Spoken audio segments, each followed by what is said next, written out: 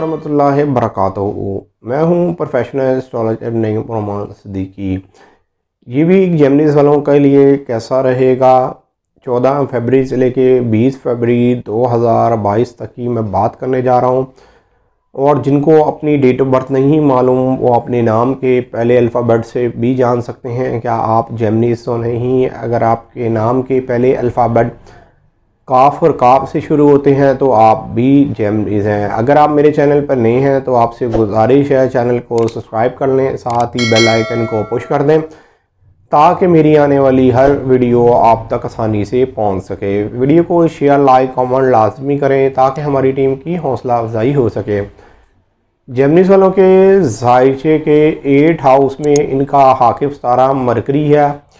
और मरकरी जो है वो जायशे के नाइन्थ हाउस में पंद्रह फरवरी को जा रहा है, जिसकी वजह से जैपनीज़ वालों की किस्मत इनका साथ देती हुई नज़र आ रही है। इनके हर मामले में बेहतरी आती हुई नज़र आ रही है। मरकरी के जायचे के नाइन्थ हाउस में जाने की वजह से ये जायचे के फ़र्स्ट हाउस को भी अच्छी नज़र से देखेगा जायचे के फाइव हाउस को भी अच्छी नज़र से देखेगा। ये आपकी ज़िंदगी में बेहतरी लेके आएगा, आपके रुके हुए कामों में बेहतरी आएगी। ख़ास तौर पर आपकी किस्मत भी साथ देती हुई नज़र आएगी। अगर आप अब्रॉड ट्रैवल करना चाहते हैं तो एक बेहतर मौका फराम होता हुआ नज़र आ रहा है। आला तलीम के हवाले से भी ये वक्त आपके लिए बहुत ज़्यादा बेहतर साबित होगा। इसलिए कि 15 फरवरी के बाद से जमनीस वालों के हालात में बहुत ज़बरदस्त तब्दीली आ रही है।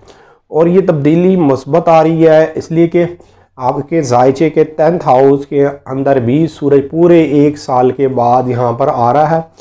और ये अठारह फरवरी को आ रहा है तो इसने एक महीना आपके जायचे के दसवें हाउस में रहना है।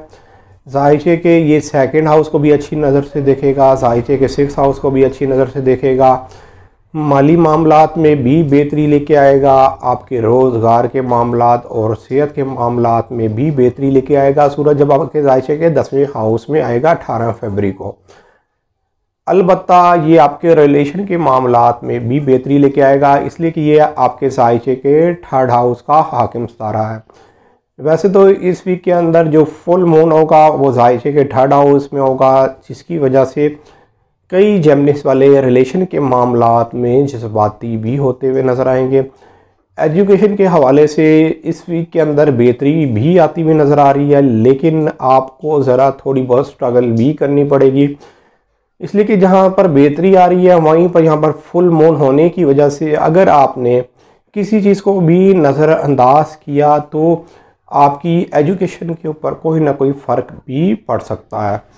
अलबत् मजमू सूरत हाल के लिहाज से आपके जायशे में बेहतरी आ रही है, आपकी ज़िंदगी अब एक बेहतरी की तरफ़ जाती हुई नज़र आ रही है। अलबत् अगर आप शादी या रिश्ते की वजह से परेशान हैं तो मरकरी के साइशे के नाइन्थ हाउस में आने की वजह से शादी और रिश्ते के मामला में भी बेहतरी आती हुई नज़र आ रही है, बेहतर सबब बनता हुआ नज़र आएगा।